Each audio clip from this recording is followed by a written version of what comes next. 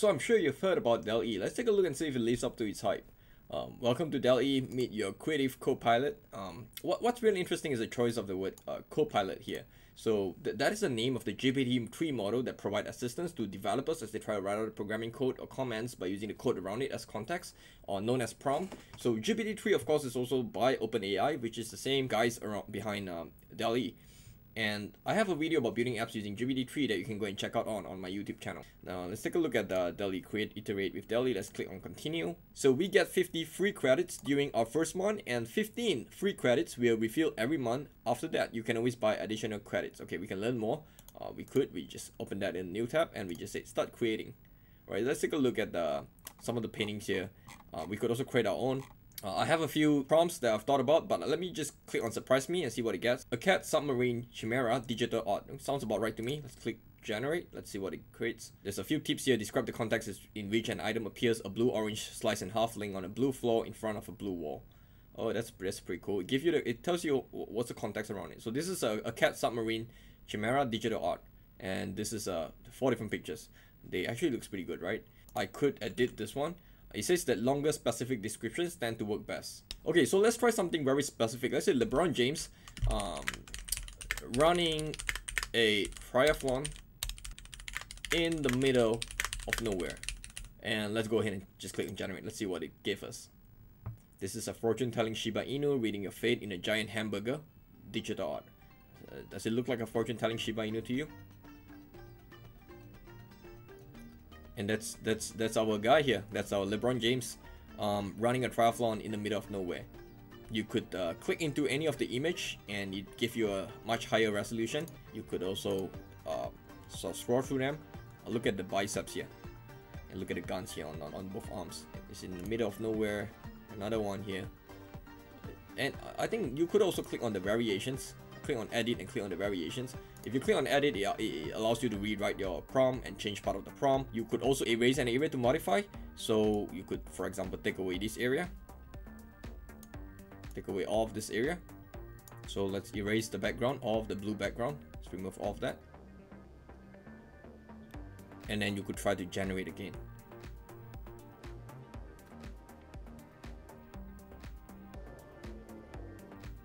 So this is the original picture and we see that now we, we erase the, the background and we ask it to find new ways to generate that. And so now it generates four versions for that. And that's pretty cool, right? It, it, it just takes away the background and replace that with some clouds and some, some of the mountains. Let's say we like this one. So we didn't really cleanly erase that. So we don't actually have, a, we, we should have done that better.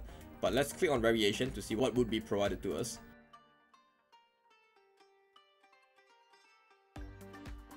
So you see that one of the tip was that you you would have put a comma and then put in the style that you want, right? And and the style would be something like pixel art, digital art, uh, impressionist, uh, photorealistic, you know, all of this. And you, you specify, you put a, your prompt there, you put a comma, and then you put a, a style, and it would generate in that style. So give it a style to tell it what to generate. And here are the different variations. So, you know, uh, this is the original one and so this is kind of this allows you to iterate on your on on the kind of art that you're creating. So first of all you give it the prompt you pick one you can erase the background you can change a couple of things you can click on it and get a few more variations replacing just that that, that thing that you remove right? And you're starting to get a few this or some of this becomes a little bit fur further away from the original ones. So now you see instead of a, a hat you see a whole helmet here. And again if you don't like something in here you could always delete that specific area and then just click on different variations. But let's actually go ahead and try something else shall we? Let's try uh let's say something like a photorealistic painting of an Asian couple spending honeymoon in Venice right? So let's click on generate. Let's see what it gave us and you can see a sort of a history of all of the, all of the prompts that you type in and all of the different paintings you generated uh, on the right. Okay, so the faces here are not great, but this one is okay. And all of these faces are, they're not real. They're imaginary in a way, right? These are not images that exist and they're just imaginary. And some of them are not that great. You see that this one, for example, the, the background is a little bit distorted. Um, this one is slightly better. The background is not as distorted, but you could still see. Um, if you change that to, let's say, photo, if you change that to, say, surreal painting, of a couple spending honeymoon in Venice, right? And you could click generate. let's see what it let's see if it un understand the, the subtle differences between photorealistic and surreal uh, surrealism if you look it up on Wikipedia, surrealism is a cultural movement that developed in Europe in the aftermath of World War One, in which artists depicted unnerving, Ill uh, illogical scenes and developed techniques to allow the unconscious mind to express itself. So um, it's influenced by abstract expressionism. So you have a and and also influenced by postmodern art. But you see that these are some of the examples of that. Um, let's take a look at uh, one and maybe try to uh, change this. Maybe this this is okay, but let's try this right? And again you could click on edit. You could uh, again try let's try to use the a smaller paintbrush this time. Smaller stroke here. So smaller stroke like this. And we're gonna just delete this area. Take away the moon. Take away the moon. Um, so I think the moon reflection should also be deleted but let's keep it there anyway. And let's click on edit. Or let's click on generate right? So I'm gonna keep the reflection. I'm just gonna remove the the moon up there and now instead of the moon so we have the moon here but we also have say you know a couple this is a little bit of an abstract but you can see like a, a male and female you know, a couple there um somewhere in the air love in the air uh, some signs here. But it looks pretty good right? Like it, it, it fill up that area with some other variation and you could download them. So I could click on download. Let's say I like this version the most. Well the downloading is happening I think in the background uh, but it's running a little bit slow but then there's the share button, there's the save button. I think the save button probably do the same thing. No, it actually goes to my collection. Um, so I could go ahead and just click on, and just give it a name, just say del e, so D-A-L-L-E, 1.png. And now it's saving.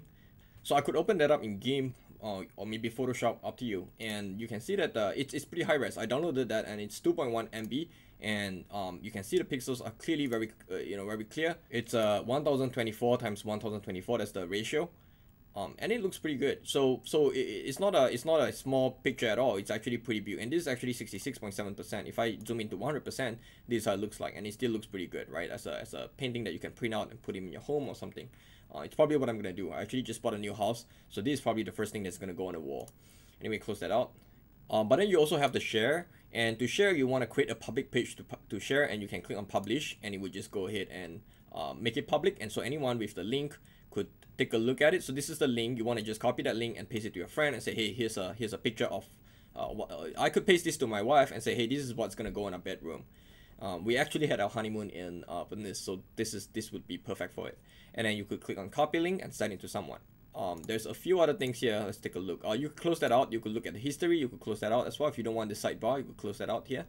Um, let's take a look at um, uh, what happened with the new button. So it says this will clear all the current history and start a new session. So you don't want if you don't want any of this history to be persisted just click on new and it will clear all of that and you'll start a new session in that all of this will not be saved right? So that's that. If you click on upload you could upload a image file and this will, it will when you upload an image file it says don't upload photos of people without consent Images may be reviewed to enforce our safety policies. We may use your data, including uploads, to improve our models. If you click continue, you can then choose to crop the image, and then you can click click on done, and then you could um, edit or generate simulate images. So you could say generate variations of this image, or you could say edit image, and then give it a um a, a description. Say like, oh, we want I want this style, but in a dark, you know, maybe in the middle of the night or, or something. You could add some sort of description to it and modify the image. You could generate variations of the image. You could uh, crop some part of the image out and then add your own you know, style to it. Uh, I'm not going to do any of that. Let's go back to this one.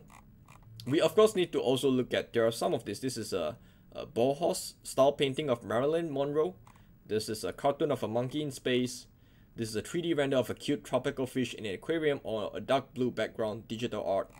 Um, one thing we haven't really seen a lot of is a pixel art. So we can try something like this. High quality photo of a monkey astronaut. Let's say this. We say photo of a monkey astronaut pixel art.